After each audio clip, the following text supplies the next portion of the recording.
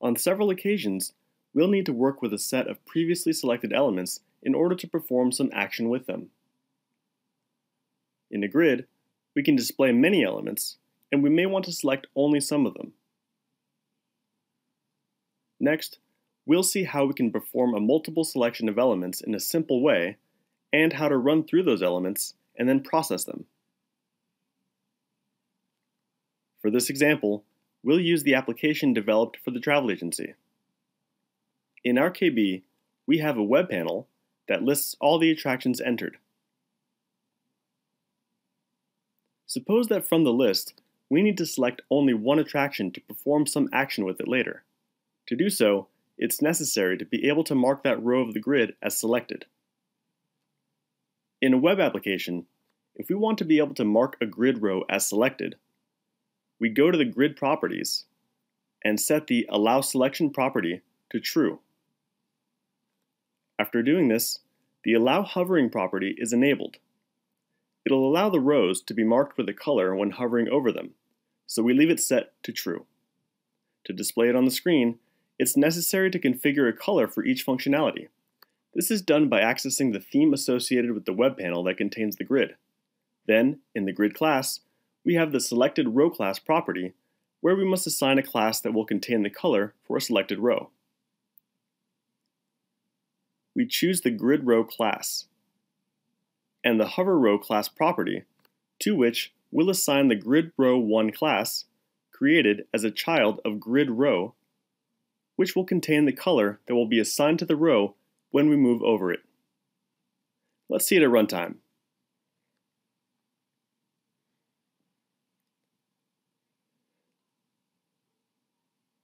Now let's suppose that we need to select one or more attractions to print them in a PDF list. So we need to be able to make a multiple selection of attractions in this list. Setting the Allow Selection property to True does not work because it doesn't support multiple selection. For a web application, if our grid doesn't have paging, one of the options available to implement it is as follows. First of all, we create a variable of Boolean type and add it to the grid in the first column. This will be used to select a record. Then we add a button, which will invoke the procedure that will list the selected attractions. To be able to send these attractions to the procedure, we must first save them in a collection. Simply saving the ID of the selected attractions is enough. So we create a variable of ID type, domain of numeric type, and mark it as a collection. We access the event associated with the button, and here we need to run through each one of the grid rows. We do this using the instruction for each line, in, and the name of the grid. This will allow us to retrieve the values of each row of the grid. Note that the for each line command can be used for any situation in which the grid must be run through in a user event. Since we're only interested in the selected attractions, we condition the search with if selected, which is the same as setting if selected equals true, and if this condition is met, we add the attraction ID to the collection variable created. In an application for smart devices, it's possible to configure the grid to allow multiple selection by means of a grid property named Enable Multiple Selection. We must set it to true. And to display the checkbox that allows us to select the row, we leave the Show Selector property set to Always. These properties save us from having to declare a Boolean variable as we just did for the web. Then, to run through the rows, the command for each selected line must be used. It must be grouped in a composite block. What this command will do is that if one of the instructions fails, the rest will not be executed. Going back to our web panel, once all the grid rows have been run through, we must send the collection of attractions to the procedure. We cannot pass by parameter directly.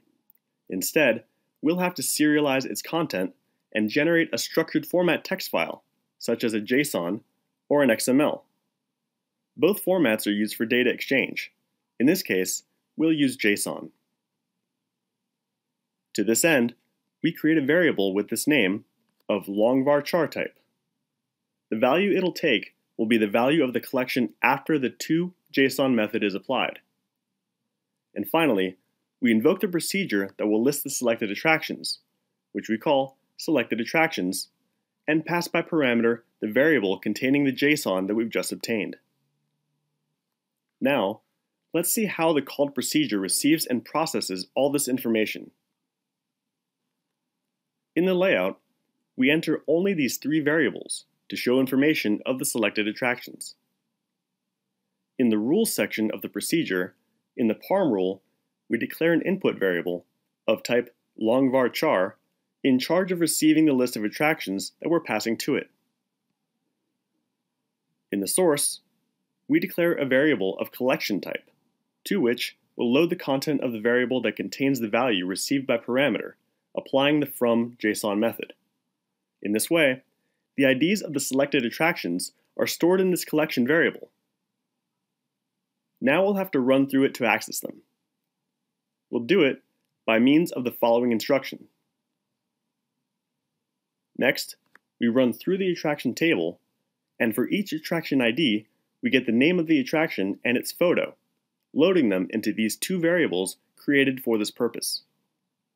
After we close this for each, we print the print block containing the variables that will show the ID, name, and photo of our attractions.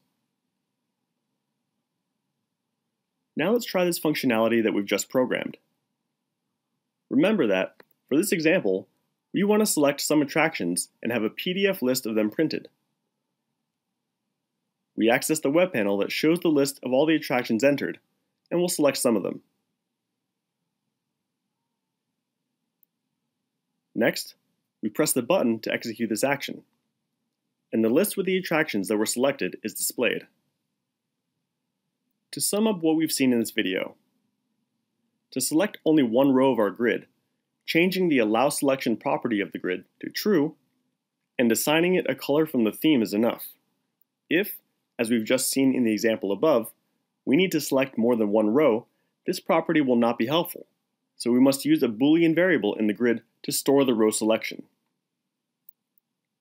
Then, to run through the grid rows, the for each line command must be used. This command iterates over the rows loaded in the grid, and for each iteration, will obtain the values of the grid columns for each row run through. To know if the row is selected or not, we'll check the value of the Boolean variable. In applications for smart devices, the grid does have a property for this functionality, the Enable Multiple Selection property. Then, the Show Selector property is used together with the For Each Selected Line command to run through these rows.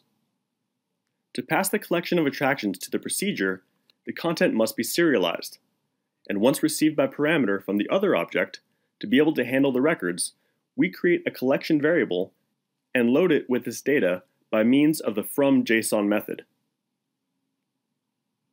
For more information, you can visit our wiki.